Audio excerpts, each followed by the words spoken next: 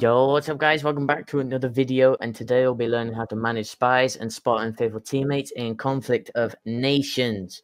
Now, it's been a while um, and I uploaded a little few video a few days ago, uh, but I'm back and I got a bunch of videos coming out later this week, hopefully. Um, so make sure to have the bell icon set to all and keep up to date with all of that. But anyway, apart from that, let's get on with the video. The spy menu that you need to use will be on the left as a tab called Intel. When you open this tab, two separate windows should pop up. Uh, I don't know if it's the same for the mobile versions of the game, uh, that is for Android, but I'm sure you guys will find it. But anyway, the main window out of the two is the center one. This is where you'll be buying all of your spies. If you're on a homeland city, when you're on the Intel tab, the center window will say counter op spy, uh, as a buyable option. So when purchased, a counter op spy will appear at the bottom whenever you go into that city again.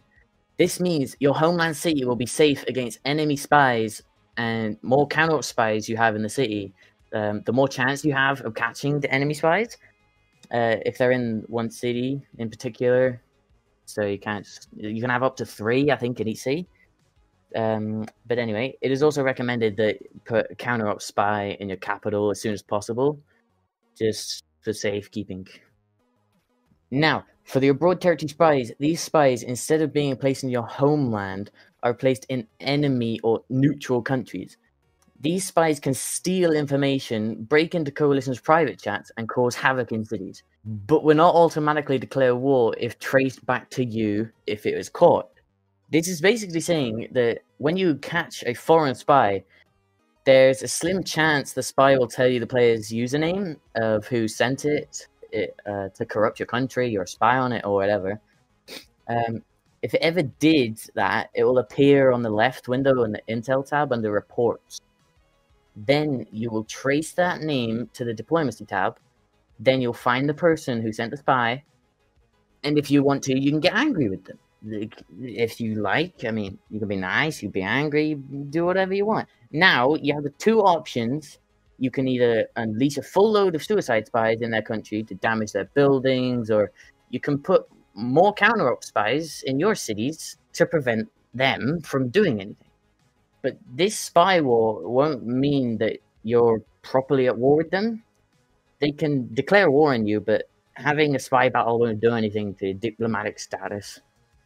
Right. Different types of spies you could send to them are intelligence, which will reveal the units in that city or the surrounding lands um, and interrupt messages between other players and see what they're talking about and all that stuff, show you what they're researching or their black market trades. So that's pretty useful to me, I'm not going to lie.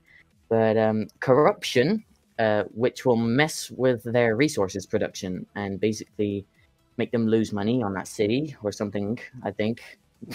And lastly, sabotage, which will destroy the buildings in that city and stop them mobilizing anything out of it, which also is very useful if they are golding, unless they have a lot of gold. Then you're screwed. Right, for this section of the video, I'll be talking about moles in your coalition. For those who don't know what that means, um, a mole is basically someone you're not on good terms with in your coalition, or they have joined your coalition and they're basically just giving away your team's units' positions. It's generally the lowest form of human being and should be blown up by a Russian tank.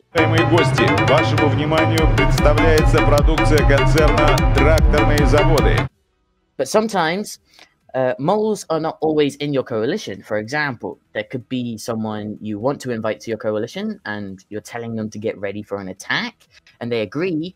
But when it comes to inviting them after four days, of waiting for your AFK player to be kicked. You get no response from this person, and now he knows who you're attacking and who's AFK for free land. It, it, it's very annoying, basically. So watch out for that. But there is a way of how to solve this. Any teammate or player or anything that are acting suspicious, you could just put an intel spy on their country or in it, or wherever you want to say that yes, th- this means you can sabotage and corrupt your own teammates.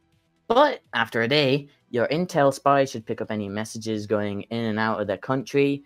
But if they're smart, they might have counter ops in their cities. So look around in their home country for a city that you think they don't use much and place your spy there because it probably won't get caught or anything like that. So I'm pretty sure I've covered everything to do with spies and their abilities. And if I missed anything or you have a question, leave it in the comments below I'll reply to it shortly. But that's all from me today. Make sure to like and subscribe. And if you didn't like it, you can piss off and go somewhere else or whatever you want to do. Uh, but anyway, peace.